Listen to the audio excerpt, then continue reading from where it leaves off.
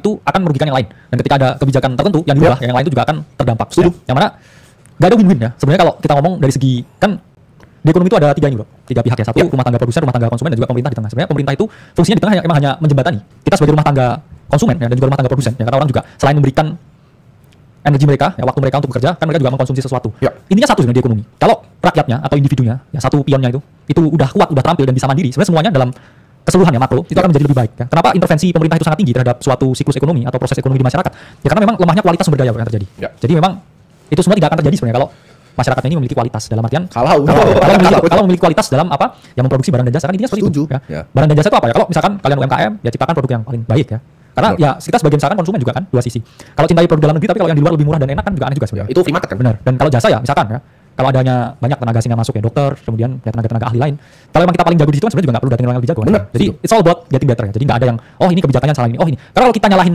sesuatu yang Ya. nggak- yang pasti nggak bisa kita Tidak bisa kontrol. nggak bisa kita kontrol ya sebenarnya kita nggak kompeten di hidup ini Benar. jadi se ini apa pun ya kebijakannya kamu nggak akan pernah bisa puas ya karena kamu Setuju. hanya mengandalkan orang lain Setuju. Orang lain yang kepentingan sedikit sebenarnya untuk bantu kalian beneran. nggak ada Oh, enggak ada. lebih lebih frontal. Nggak ada. Nggak ada. Ya mereka nggak ada Nggak kepentingan untuk kalian. Kalian mau mati di jalan mereka nggak peduli sebenarnya ya. Dan itu kebenaran yang pahit yang kalian ngomong teman ada bilang kalian lagi kuliah anjir tapi kalian nggak sadar benar lagi kuliah ini ya. Biar ada otak sedikit ya.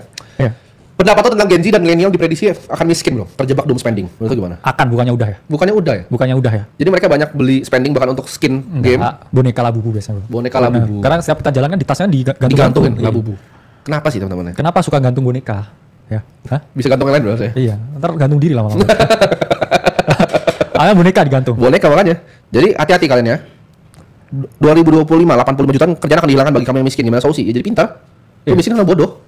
Lu upgrade diri lu, sering-sering nonton margin call. Ini tumben belum merah 9100. oh nggak pengen tahu mereka bro pengen tahu Gimana? karena perang. Mereka Gimana? panik apa ya? Gimana ya ini ya? Iya, udah di call ya duluan dan ya, ya itulah market ya teman-teman Iya. dalam artian everything can change in seconds ya Betul. saya selalu bilang ya memang outlooknya jangka panjang tapi jangka pendek itu kita hanya cukup re, ini bereaksi Ya, bereaksi tapi tidak overaksi ya benar. Karena dalam jangka panjang ya kita tahu market itu adalah mesin penimbang bukan mesin Setuju. voting. Ini memang lagi voting kan. Saya Setuju. bilang ini adalah point of no efficiency di mana low volume ya. Benar. Kita di tahun pemilu, kita di tahun halving, ya kita lihat datanya dan ya kita set expectation and plan dan ya punya ini, Yes. punya aksi yang terukur. Saya bilangnya orang di sini banyak yang rugi karena nggak terukur bro aksinya. Betul. Jadi kalian itu harus terus ya update dirinya, jangan cuma salahin apa yang kalian nggak bisa kontrol ya. Dan jangan suka salahin orang itu itu mentalitas paling bego. Terus suka salahin orang. Oh saya rugi karena dia. Saya kan dengar omongannya. Kan lu yang dengar, lu yang pencet anjing. Iya. Kalau waktu itu judi lu untung, JP gimana? Diem pasti. Diem gak lo? Diem lah. Ya lu gak bilang terima kasih kok. Ya. Ada nggak? Misalnya perang dunia ketiga terjadi, mending timbun makanan atau apa? lu mau ngapain? Hah? Lu mau ngapain? Lu timbun makanan nih orang datang ke rumah mau beceng sini makanan. Udah selesai kan? Gimana? Coba tanggapan lu. Perang dunia tadi terjadi. Ini seru sih untuk kita bahas ya. Ya. Timbun makanan katanya. Yang pasti ya bro, menurut saya ya timbun makanan ya nanti basi makanan. Hah? Konyol ya, ngapain ditimbun? Ngapain ditimbun, Mau kaleng sarden gitu buat 2 tahun Ya, gitu, apa, sarden tiap hari. timun itu timunnya juga langsung Iya. basi ya. Bener. Jangan ya bro ya. Tapi kalau perang dunia ketiga, apa kira-kira implikasinya menurut lo?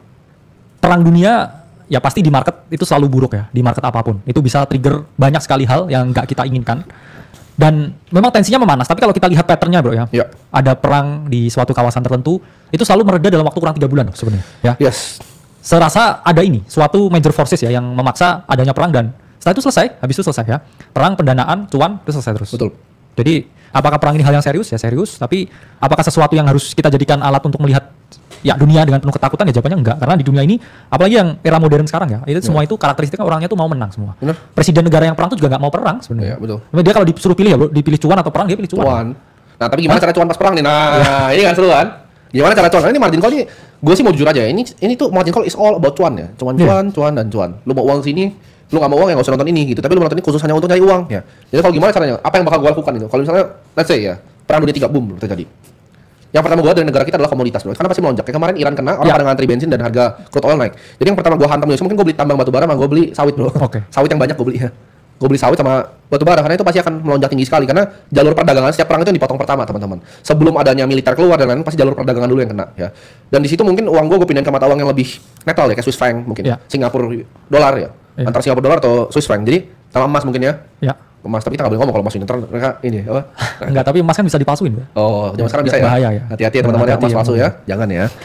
Nah, ada yang nanya, menurut lu gimana soalnya ke depannya? Coba bro, soalnya. Ya Solana saya tetap sama outlooknya. Target saya di cycle ini tuh dalam jangka panjang ya, ini ke 350 ya untuk Solana. Apakah saya masih punya exposure? Punya. Apakah teman-teman mau DC adherence ini? Yes. Ya ada peluang kalau teman-teman yakin dengan potensi kenaikan ya up to 150% dari range Ya. ini ke 350. Ya it's a very good blue chip asset ya Solana. Yes. Dan meskipun relatif ter sentral ya dibandingkan dengan blockchain yang lain, tapi Solana ini memiliki teknologi yang jauh lebih efisien daripada Ethereum. Karena statusnya sekarang Ethereum seperti ini ya. Karena gas yang murah, Bro, ya. Jadinya jumlah Ethereum ya yang dibakar fee-nya itu sangat sedikit.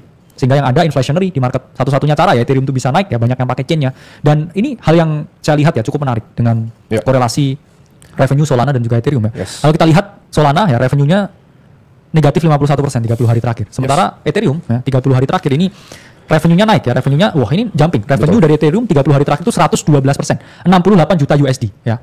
Berarti lagi pindah bro ya dari chain-nya Solana ke Ethereum sekarang. Jadi saya masih percaya ya ini adalah bottom cycle untuk Ethereum dan 68,2 juta USD dalam 30 hari revenue itu not, not bad ya.